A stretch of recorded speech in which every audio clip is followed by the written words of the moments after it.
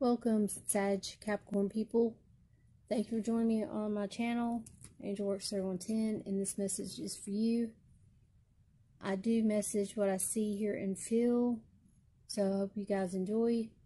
I'm just a nobody trying to tell you guys something. So, if this resonates, please leave a comment below, let me know, and I'm going to be pulling your stalking message. I'm sorry that I got these messages out late, but I had some stuff that went on this year, so I had to do stuff with family. But I'm back, guys. Here is your message. Before I open this, I want to say that I am picking up very strongly that some of you are feeling like you're on the fence, because I'm feeling like I'm on the fence right now with you guys for some reason. Like I'm back and forth.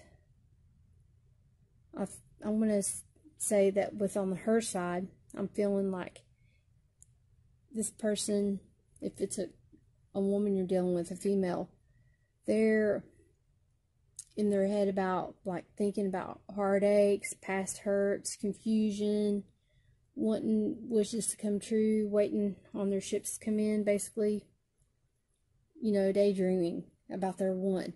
But for the male side, they're feeling like conflict in their head about are you their one? And they're trying to figure out if you're the one because they're feeling stuck in their head about it. They're not unsure. They're not sure. They're they're wanting a happy home, and with you standing your ground, it's going to cause them to see that maybe you are their one. You have to stand your ground. And if those people that you thought you were in love with, if they were your one, if they're really your one, they will still be there. If you tell them that you don't want to be in a third party situation or whatever this conflict is that you have with this person that is causing conflict, that gives you the doubt, is this your one? If you're having that doubt feeling, you need to have communication with that person, okay, guys? Let's see what you guys got. Whoa, we got two of them for this one. I did not realize that I put two in here. But guess what? You guys got two. You got the Knight of Pentacles and the Five of Cups. Somebody feeling disappointed about a Knight of Pentacles. Somebody feeling very disappointed or they are the Knight of Pentacles and they're being very disappointed about a situation. This could be a person dealing with two kind of people like that. An emotional one and a person that's about their finances there could be a message that's coming in. Like you're getting subpoenaed, you're having to be a witness, you're having to speak something and you feel ashamed or remorse about something and you're having to get the courage up to speak to someone that is waiting on you. This there's a person, either you or this other person, somebody's waiting on somebody, you're at a distance, you're disappointed at how things got to this point. You've had time to reflect on yourself because you're away from this partner. You've been isolated and alone, and it's causing you to get worried and feel upset or sick or feel like you can't sleep at night. You have headaches. You're starting to feel anxiety and stuff. But you're, if you're feeling scared, could this be your one? Trust me, we all get there. We all get scared, and we find out by standing our ground and say, Look, I'm looking for the person that's meant to be with me. If you're going to treat me like this, then you're not my one. You know, I'm looking for the one that is not going to hurt me. When you stand your ground and you tell the truth like that, and you let them know this is not what you're going to have. If they are really your one, they will come back.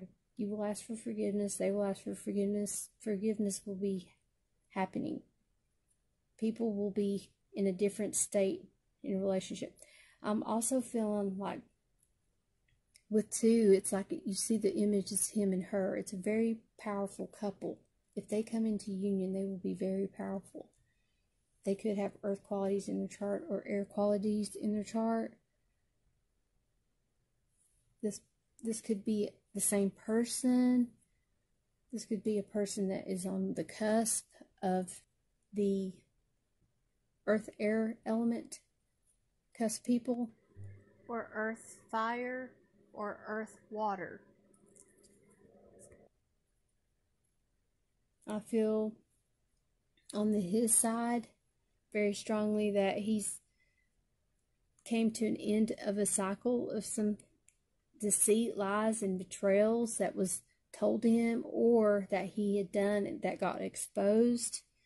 These lies, deceits, the trickery, maybe the player's behavior came to an end.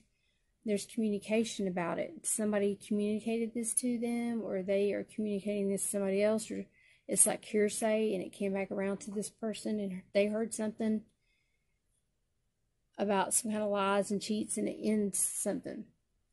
But with this truth being known and being brought up in the open with communication about lying and cheating, you wanting that to come to an end, or this person saying this to you, both of you, I feel, will be victorious. I feel as if both of you will be because you both are standing your ground and you're both are saying what it is that you don't want so that you don't feel stuck in a relationship. You don't want to feel like you're trapped and you're having to do whatever somebody tells you to do constantly and not letting you have your own free will. You want to be able to trust that other person and believe in them and have faith and joy and be harmonious and feel love and warmth with the person. You don't want to feel conflict all the time. You don't want to feel let down and just cut down and feeling negative. You want to get out of being negative, and you will be when you start saying your ground because that shows the positive side in you that you're loving yourself and you are going to be victorious because you're not going to let nobody rain on your parade. But you're not going to be a person that just takes and takes and takes. You're going to be a person that gives all that you can give. If you had good intentions with someone and you went out and got them a gift, and then before the very five minutes before you got to give them the gift, something happens and this person turns on you and I feel like if they turn on you, then all of a sudden you feel guarded and you feel like, well, forget that. I'm not going to give them a gift. They just turned on me. So I'm going to turn back on them. No, don't do that. Don't be that way. Don't be negative. Get out of that negative mindset. If you already had good intentions with someone and you had good intent to give them a gift before they got ill with you, you still give it to them and, and say, I'm sorry you're having a bad day. I don't know what's going on, but I got you something. Here you go. I hope you like it, you know, and then just walk away and just leave it there. What they do with it is on them. You have good intentions. You are a good person. You can be positive. You can get out of this negative mindset and you can let people know how you truly feel, but not in a sarcastic way. You can be kind and loving and loyal and Speak your truth and calmly and enjoy your environment. Enjoy the people you have around you. Try to get away from the conflict and negativity talk. And you'll feel warm and happy and joyous. And it's a very good warm feeling. I feel real fuzzy, like happy and joyous. And you will be able to take charge. You just want to make sure that you go in there in a stable pace. You don't go in there just start hashing out words. Don't start believing everything you hear. You want to have a happy foundation, a happy home with someone. You want to celebrate. You want to believe that this is your one. So believe it. You don't need to be watching these videos to believe it. You know because you are being truthful to yourself. As, as soon as you're being truthful with yourself, that's when you realize that you are standing for what you believe in and you're finding your one and that person is going to say you are my one. And when they say that then you know for sure that they are. Not only by what they say but their actions will back it up. If they're out cheating on you and stuff still then they must not be your one i'm sorry. But you need to love yourself and let go of these kind of people that are holding you down that's making you feel like you don't deserve better you do you are lovable just like I am, and we deserve to be happy. So You decide on what kind of love you want for your life and how you want them to treat you. And you stand up for yourself, guys. Hope you guys enjoyed this video. Please don't forget to like, subscribe, and share my videos. And the next deck that I'm going to be using for that next series playlist will be this deck. So I hope you guys get to watch me on that series once I get done with this series. I'll be letting you know closer to that time in the mid-month of January. Always remember, guys, treat others the way you want to be treated. God bless.